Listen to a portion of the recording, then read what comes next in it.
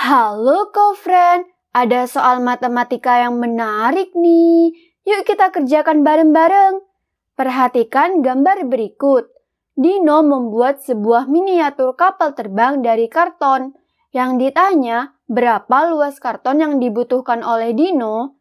Dari gambar tersebut diketahui panjang areanya yaitu 85 cm dan lebar areanya yaitu 40 cm.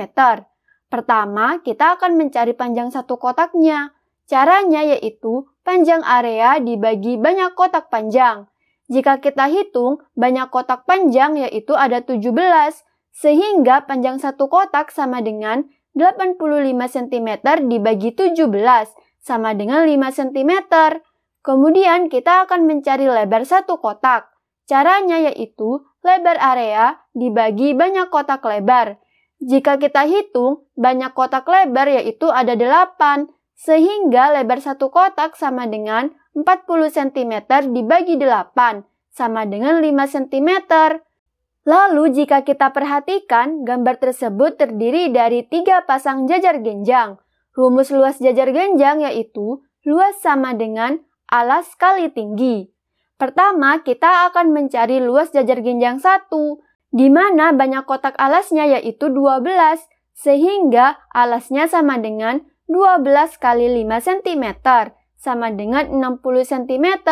Kemudian tingginya terdapat satu kotak, sehingga tingginya sama dengan 1 kali 5 cm, sama dengan 5 cm. Sehingga luas jajar genjang 1 sama dengan alas dikali tinggi, sama dengan 60 cm kali 5 cm sama dengan 300 cm persegi.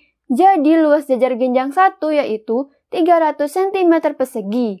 Kemudian kita akan mencari luas jajar genjang 2, di mana alasnya terdapat dua kotak, sehingga alasnya yaitu 2 kali 5 cm sama dengan 10 cm, dan tingginya terdapat dua kotak, sehingga tingginya yaitu 2 kali 5 cm sama dengan 10 cm, sehingga luas jajar genjang 2 sama dengan alas 2 dikali tinggi 2 sama dengan 10 cm kali 10 cm sama dengan 100 cm persegi.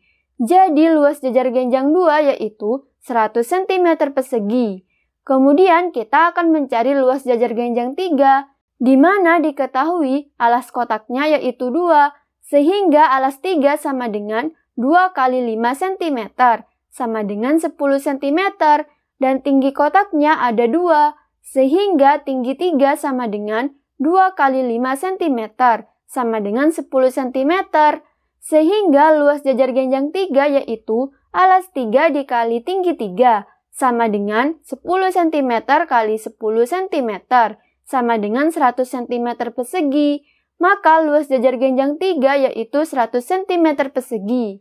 Karena setiap jajar genjang memiliki satu pasangan, maka luas kartonnya yaitu 2 kali luas jajar genjang 1 ditambah 2 kali luas jajar genjang 2 ditambah 2 kali luas jajar genjang 3 sama dengan 2 kali 300 cm persegi ditambah 2 kali 100 cm persegi ditambah 2 kali 100 cm persegi. Kita hitung perkaliannya terlebih dahulu ya, kofren. 2 kali 300 hasilnya 600, 2 kali 100 hasilnya 200, sehingga sama dengan 600 cm persegi ditambah 200 cm persegi ditambah 200 cm persegi. Kita hitung dari kiri ya kofren, sehingga didapatkan hasilnya yaitu 1000 cm persegi. Jadi, luas karton yang dibutuhkan oleh Dino adalah 1000 cm persegi. Hore, kita sudah mendapatkan jawabannya kok, friend. Mudah bukan? Tetap semangat belajar ya. Sampai jumpa di soal selanjutnya.